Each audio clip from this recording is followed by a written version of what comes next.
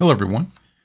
We're going to look at a tool called Binwalk today, and in the spirit of uh, merging hacking with outdoor adventures and things like that, we're going to be uh, examining some firmware for my fish finder. Uh, this particular fish finder, you can download an update from the manufacturer's website, and within the actual update is all the files that actually run the fish finder in there. We're going to look at take we're going to take a look at how to actually extract that and look and see what's in there. I've downloaded the firmware already. I'm using also using Kali Linux, which has Binwalk installed by default. And you can set up a virtual machine, then uh, install the parallel tools, and it's easy enough to just drag the file over there. All right. So this is our firmware right here, redacted.udp. I changed the name as to not identify the fish finder manufacturer. So we'll, first of all, we'll extract it, binwalk dash e redacted.udp and we'll let it run. All right. Now we have a directory underscore redacted.udp.extracted. So let's take a look and see what's in there. I've enlarged my screen, so I'm probably going to hit clear a lot just to make it a little bit more manageable to navigate and actually see. So we have some files at this point. We have 0.tar on the left-hand side all the way over to usr.tar.xz. So these are, we can take a look at the update file, which is the sh script. And there is some uh, bash script in here. And this will, uh, basically it's one of the files it runs when it does the update. There's a whole lot of different uh, commands in here and things like that. I don't want to get too far into the weeds on that, analyzing that. So where do we start? Um, looks interesting to me. Um, root is the uh, is most associated with Linux and the Linux file system. So let's untar that. If I can enter a valid tar command.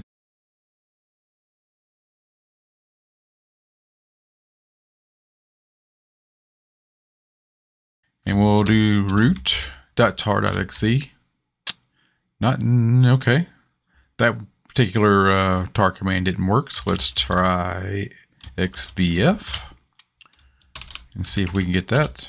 Hey, look at that. It worked. Now what do we have? All right, we have a bunch of directories now that are extra, like bin, boot, dev, etc, home, lib, media, mount, proc, root, run, sbin, share, sys, temp, user, and var.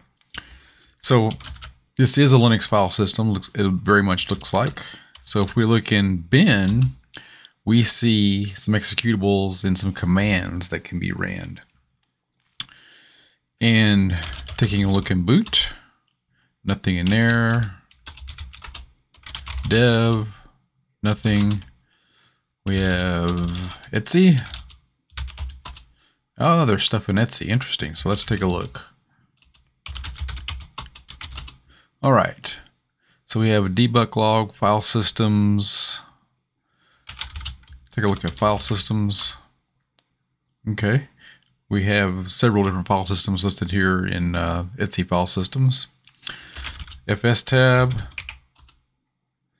UBI 0 slash home, where to mount this when it starts up and runs. Uh, let's take a look at the group. So these are typical Linux groups that I would expect to see in a Linux operating system.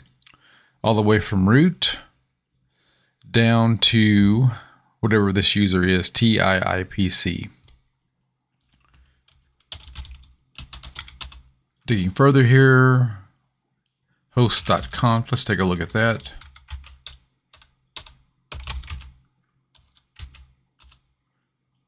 Order host by multi-own.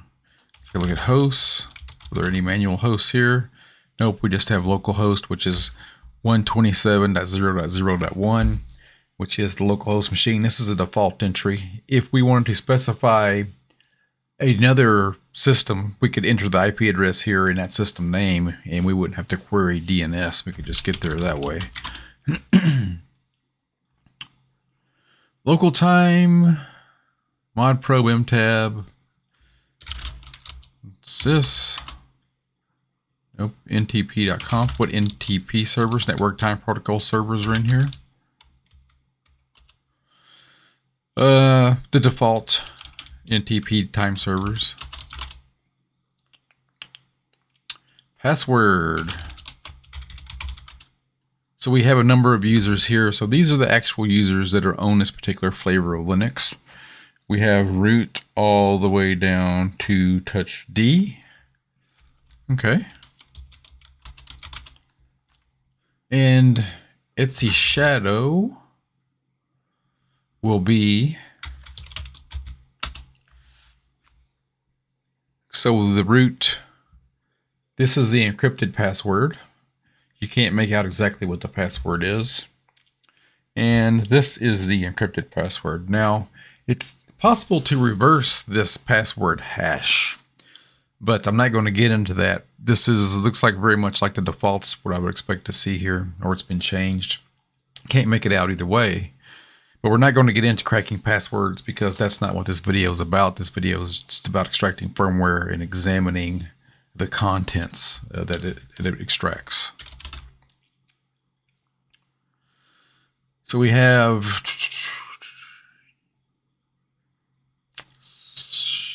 shells. What shells are on here?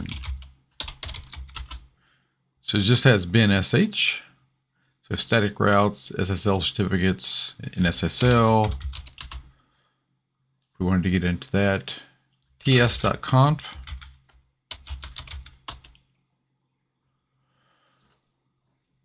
not sure off top of my head what that is. I have to dig into it. And version. What flavor of Linux is this? This is NOS Linux, NOS Linux, platform 38025. I'll have to dig into that and learn some more about it. All right, backing up. Actually, let's go back over here, back to our root directory. So we had etc, nothing in home, library files. Not going to get too much into that media.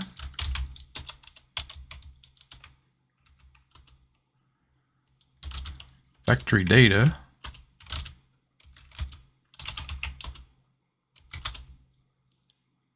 Empty.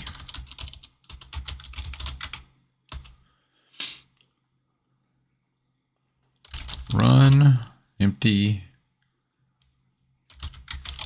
share, manuals,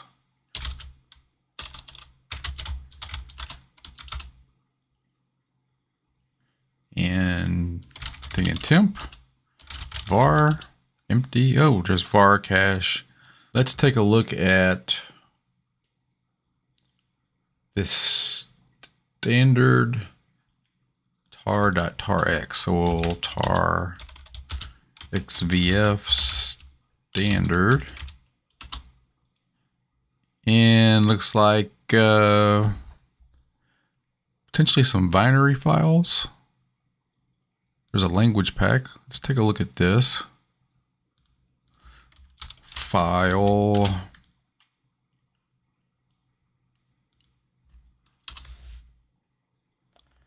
Translation file. This one strings against this file. Strings looks for consecutive ASCII characters within files. So we have, are you sure you want to delete all the waypoints with this symbol? So this is part of the configuration for setting waypoints, it looks like within the GPS functions of this particular fish finder. Okay. And what else do we have here that might be interesting? Um, splashy.tar.xz. Let's take a look at that. Let's extract it.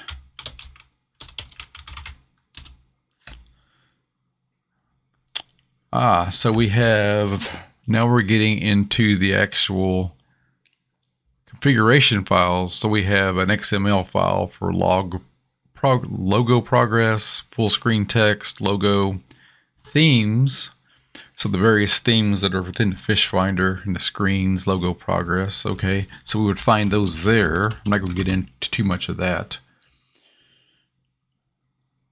Um, let's take a look at USR, tar xvf user dot tar dot tar dot xz. So we have, whoa, there's quite a bit in there. Okay. So we have, looking at this, some fonts, TTF, true type fonts, more fonts, configuration files, sonar. So now we have a sonar bin file, boat plan.png. So now we're getting more into the configuration of the fish finder looks like connect failure tools, pictures to go along with that, icons, simulator, part of that function. There was quite a bit of stuff in here. So if we wanted to look at those particular files, which I want, I won't do that for this particular uh, video because I'm not getting into actually looking at this. It's more about using binwalk, extracting a piece of firmware and determining how the file system is laid out, as opposed to actually getting into and modifying the fish finder files. But if I wanted to do that, let's say I wanted to do something and modify my fish finder, I didn't like a certain theme or something like that. I would extract the firmware as you see here. I'd go in and cre create my own theme and I could modify it, change it up however I want to be, then potentially recompile it, compress it, and install the update onto my fish finder. Then that theme would be available to me. Um, that would be one aspect of why I would be doing this. Or maybe I wanted to make it compatible with another piece of software or another another device, perhaps. I would go in there and add the appropriate code to make the my particular fish finder compatible with my other devices, or some software, maybe Bluetooth with my Apple Watch or phone or something like that. If I wanted to get into uh, something that deep, that might take a while to figure out and, and, and uh, integrate into the fish finder firmware. But if we were going to do that, this is probably the route where I would start doing that. We have various languages in here as well. Zero.tar, let's take a look at that.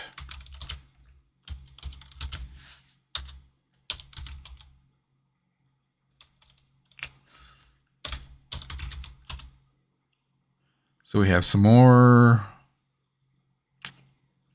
Looks like that I has some duplicate files within there, not sure yet.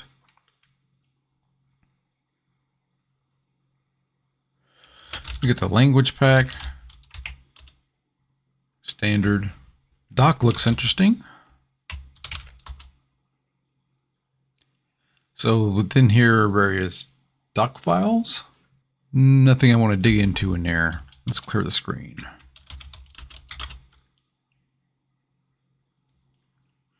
Going back into media.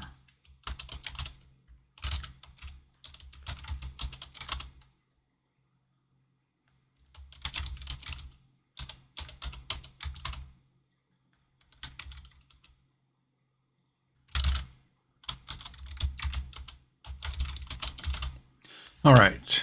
so let's take a look and see how much space all this actually uses uses right now. 434 megabytes total. So again, when we extracted this, we uh, determined that it was a Linux file system because we these are these are these are all files I would expect to find in a Linux file system. Absolutely, you wouldn't expect to see some of these in Windows. We got our various routes, uh, password file which contains our users, shadow file which contains the hashed passwords, and uh, network configuration and all that. And we also saw when we extracted some of these, the actual theme files for the fish finder. If we wanted to go in there and edit our own theme or make it interactive with something else, we could go pursue it that route. Yeah, save our changes in the firmware, compress it, and then install it on our fish finder and potentially make that available to us. So this is one example of how you can use Binwalk to learn more about the uh, tools you have. I like to do this with IoT devices, especially if you're looking at uh, wireless routers and things like that, or wireless thermostats, or something that has firmware that you can download and install to update it. I always like to take and extract the firmware with Binwalk and actually take a look at it and see what's going on inside there. Several times I have found vulnerabilities doing this, especially with wireless routers. You get to the actual login page for the administrator functions and you enter your username and password to get in there and you start uh, administering your router.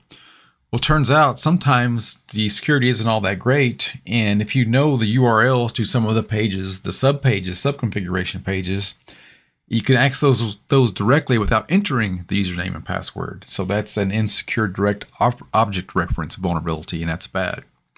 Uh, then someone who comes over, or potentially uh, a bad actor, gets access to your network. They can get into your router and change your configuration and things like that. That also happens with various other IoT devices as well. I've seen that happen. All right, that's all for this video. We have combined hacking with the outdoors using Binwalk to extract a fish finder update, to extract firmware for a fish finder update. Took a look at the file system, determined it was Linux. We saw where the various theme files and configuration files were for the fish finder. We could modify those if we wanted to, but that's not what this video is about. This video is just about how to start exploring firmware updates with Binwalk.